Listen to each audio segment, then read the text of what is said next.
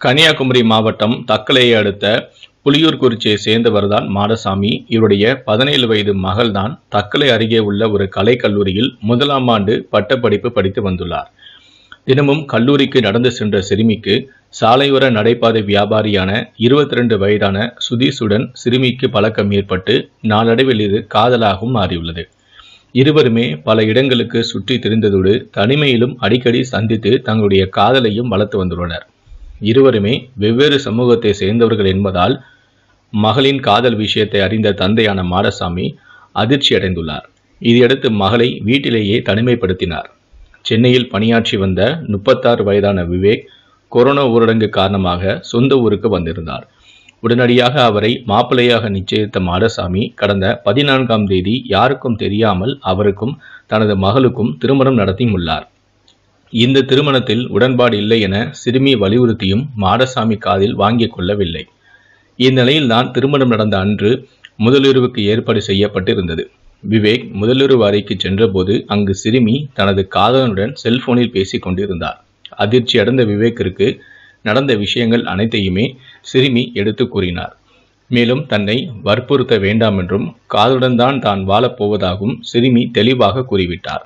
மனம் நொந்த விவேக் வீட்டை விட்டு வெளியேறி உள்ளார் இதற்கிடையே தான் காதலனான சுதீஷை வீட்டிற்கு வரும்படியும் அழைத்துள்ளார் சிறுமி.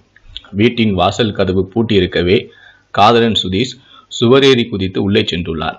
அவரை பார்த்த விவேக்கின் பெற்றோர்கள் அதிர்ச்சியடைந்து உடனடியாக தக்கலை காவல் நிலையத்திற்கு செல்போனிலும் புகாரளித்தனர் தக்கலை போலீசார் உடனடியாக விவேக்கின் வீட்டிற்கு சென்று விசாரிக்க நிலைமை தலைகீழானது.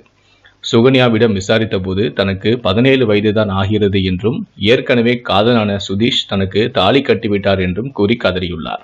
மேலும் தனது விருப்பமின்றிதான் விவேக்குடன் கட்டாய திருமணம் செய்து விட்டதாகவும் அழுதுள்ளார். சுதீஷிடம் விசாரித்தபோது காதலிக்கு பதினெட்டு வயது பூர்த்தியான பின்பு பெண் கேட்க திட்டமிட்டதாகவும் ஆனால் நிலவரம் கலவரமாகி விட்டதாகவும் தெரிவித்துள்ளார். இதையடுத்து சிறுமியை மார்த்தாண்டம் மகளிர் காவல் நிலையத்திற்கு போலீசார் அனுப்பியும் வைத்தனர். பதினேழு வயது சிறுமிக்கு கட்டாய திருமணம் செய்து வைத்ததால் தந்தையான மாடசாமி கணவரான விவேக் காதலான சுதீஷ் மற்றும் விவேக்கின் பெற்றோர்கள் என ஒட்டுமொத்த குடும்பத்தின் மீதும் போலீசார் போக்சோ சட்டத்தின் கீழ் வழக்கு பதிவும் செய்துள்ளனர்.